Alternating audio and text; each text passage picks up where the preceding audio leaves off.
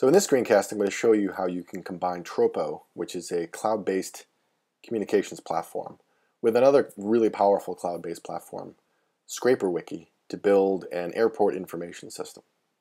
So I live near the city of Philadelphia, and I'm often driving to or from the Philadelphia airport to pick people up, drop people off, or to fly in and out myself. Um, and one of the chief complaints that I have is that the Philadelphia International Airport website is really not good. Um, the uh, listing of flights is uh, really just not very useful. It's uh, this big, long, dynamically generated page that you have to scroll through or search to find your flight number. Be nice if they had a little search box, but they don't. Um, or if it was just a bit more convenient to use. They also have this, they have a toll-free number with an IVR sitting behind it that's just really not good. Um, it's touch tone only, and I've actually used it on certain phones where the, the, the DTMF key presses aren't picked up. It, it's just really bad. And it doesn't have to be this way. Uh, we can use a service like ScraperWiki, which is a cloud-based service for writing web page scrapers and persisting the data that you scrape. Uh, we can use ScraperWiki with Tropo to build, uh, quickly and easily build a really powerful application that will let you check flight times, arrivals, and departures in Philadelphia Airport using uh, your, your, voice through speech recognition, through text messaging, through instant messaging, uh, all with a very modest amount of code. And I'm going to show you how to do that in the next couple of minutes. So what I have, uh, first of all, is a, a, very simple PHP script. This is running in ScraperWiki. Uh, I ran it not long ago. And what it will do basically is it will go to the Philadelphia International Airport website and based on the rules that I have set up, it will scrape data from that website and it will persist it into a data store and then make that data available to me through an API. If you've never used ScraperWiki, you should check it out at scraperwiki.com.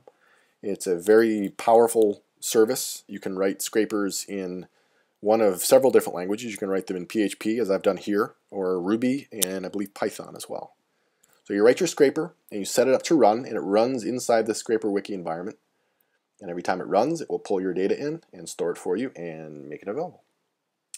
So I have this scraper along with the code for um, a Tropo application that I'm going to show you shortly in a repo in my GitHub account called PHL Scraper. The scraper we just looked at is actually this PHP file here.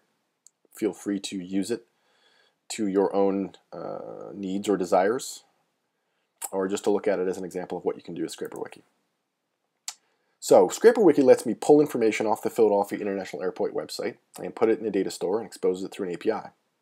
So now what I need is a Tropo application to hit the ScraperWiki API and allow me to interact with a user through uh, text messaging or through the phone. And I have, a, again, a very simple PHP script here. It's you know, about 75 lines of code, and that's probably, you know, verbose because of comments and things like that and formatting. So it's really simple. Uh, what it's going to do is it's going to let a caller place a telephone call to this app or send a text message. And using the case of text messaging, a user simply needs to send the flight number and they need, they need to distinguish whether it's an arrival or departure by using the letter A for arrival or the letter D for departure. When they do that, my application will hit the ScraperWiki API and it will look up that flight and it will provide information to the user via text messaging or through the phone. I have that set up in a Tropo app that you can see here. You'll also note that what I'm actually doing is I'm actually using the raw view of this file in my uh, GitHub repo as the start URL. Really nice because anytime I update this file by just doing a, um, a push from my GitHub repo, I will automatically have staged changes to this application. It's a really neat way to integrate Git and GitHub into your Tropo app. So what you see here in my GitHub repo is what Tropo will actually see. Now Tropo works in a way that is very similar to ScraperWiki you can write your um, Tropo application in one of several different languages, PHP, Ruby, Python, Groovy, or JavaScript, and you load your script into our scripting environment and it runs inside that environment. It's very similar to ScraperWiki, and um, when you combine those two very powerful cloud-based services, you get something that is really useful. So I do have a Philadelphia number that I can use to call and text, um, but for the purposes of this screencast, what I will do is simply use a Jabber uh, instant messaging client that I have uh, on my machine, an account that I have attached to this app called PHL Air. And what it's going to look like is, uh, well, let's let's do this. Let's actually look at the Philadelphia International Airport website, and we'll pick a flight. This is going to simulate what I would do with text messaging. I can do the same thing with instant messaging as well. So we'll try flight 111 arriving from Boston. So I type in the flight number 111 and the letter A, which signifies arrival. And what I get back from my Tropo application is Southwest Flight 111 arriving from Boston at 9.25 a.m. at gate E15 and its status is arrived. So if I was picking this person up, I would go and uh, I would know that my the flight had arrived and I should probably meet my party there.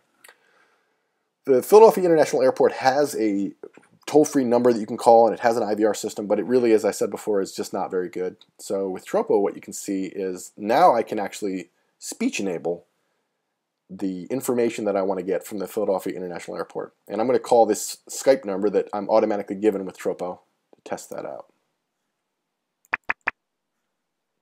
Thank you for calling my airport test application. Please say or enter your numeric flight number. 111. Is your flight an arrival or departure? Arrival. Southwest Flight 111 arriving from Boston at 9:25 a.m. at gate E15. Arrived. There. So now, if I'm driving to the airport, I can actually just use my hands-free uh, uh, uh, phone setup, and I can actually call just to make sure that I have uh, my flight has arrived or the person that I'm interested in picking up has arrived. So you can see, very, very powerful, very simple to use cloud-based technologies like Scraper Wiki and Tropo. You mash those two together and you get something really, really powerful.